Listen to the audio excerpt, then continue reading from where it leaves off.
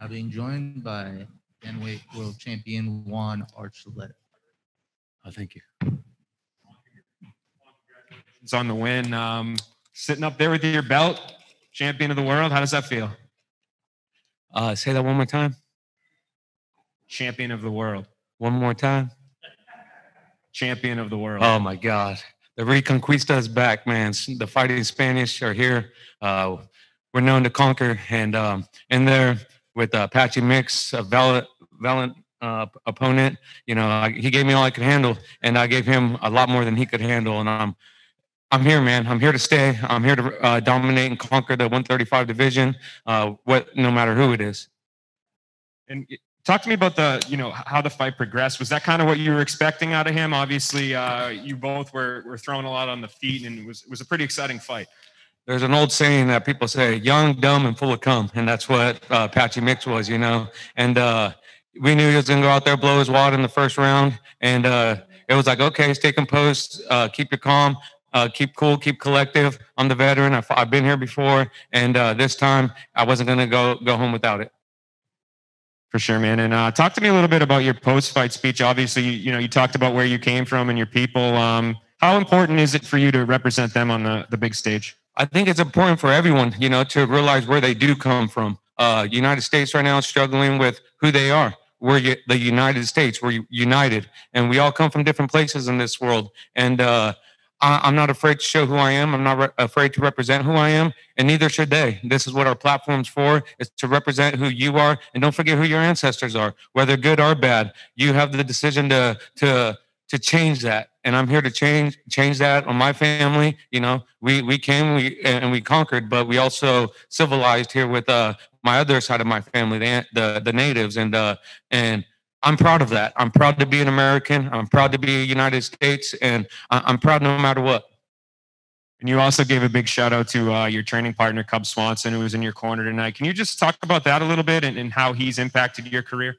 Yeah, man. Our team, uh, as you can see, is full of adversity. We got, you know, Cub Swanson. He should. He he. There's there's no greater role model to follow than Cub Swanson. He's been there. He should have had title fights. He should have had this. Should have had that. And you know what? He never complained. He always shows up ready to fight and ready, ready to perform in front of the fans. And when I had excuses because I lost my title fight, he said, "Buck up, be a man, own your loss, and go out there and keep fighting because that's why we fight." And so, you know, huge shout out to him. Huge shout, shout out to TJ Dillashaw being able to keep me to keep my composure, stay strong, stay training. Uh, we have battles, you know, me and him. If you see us in the gym, you think we're two Tasmanian devils, you know, with Cub in there, myself, uh, TJ. We go in there and we scrap every day. And you know what? We love each other, man. That's so emotional. Being able to hug them and be able to show them that our hard work had paid off. And you know, there's a new there's a there's a new new champion in town at the 135 division, and that's me across the world, across the board. One, uh, the body work throughout the fight was phenomenal, multi punch combinations, all this stuff. Was that always a game plan going into this fight? Play the long game, work the body, and you knew with your experience and his lack of experience and his step up in competition, it was going to be your fight three for fourth, fifth round.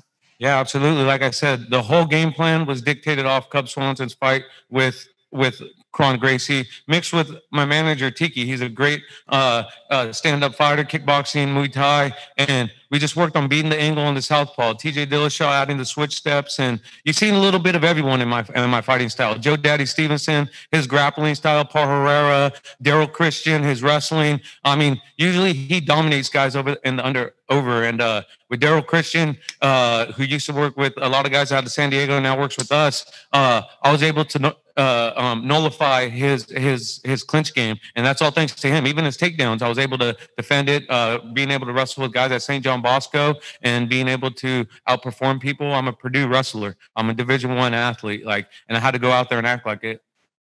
A big star in the last in your fight with Patricio for the title was the last minute change where TJ was not in your corner. How big of a difference was it to have him in your corner for this title fight? Was it was it big?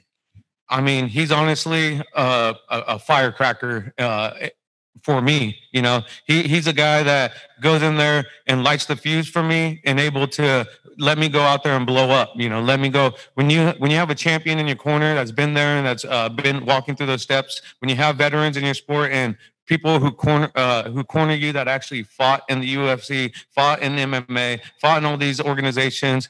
You have full belief in whatever they say, and you're going to do whatever they say. They play me like a video game, and I'm out there. They call something, I'll take a second, and the guy's like, forget, and I seen him. Oh, oh, he's going to do this, and then he forgot I was going to do it, and then I it's still stuck in my head. Then I do it, and and it plays well. So you know, f- full thanks to my corner. Uh, I wish I was able to have Joe Daddy Stevenson here, but you know, unfortunately, the commission they only allowed me three corners.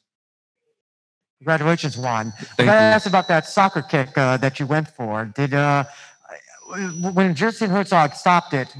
I saw you had some words with him. Can you just talk about that whole that whole? Uh, Well, if you see my fights with William Joplin and other fights, you know, and he's doing his job, like great job on the referee. Like I'm a guy that makes the referee do his job. Like if he if he says it was illegal, I'm like, okay, but please rewatch it. Like I thought I got poked in my eye, and he said no, you got punched in the eye. I was like, okay, I thought it was a finger. I apologize. Uh, but you know.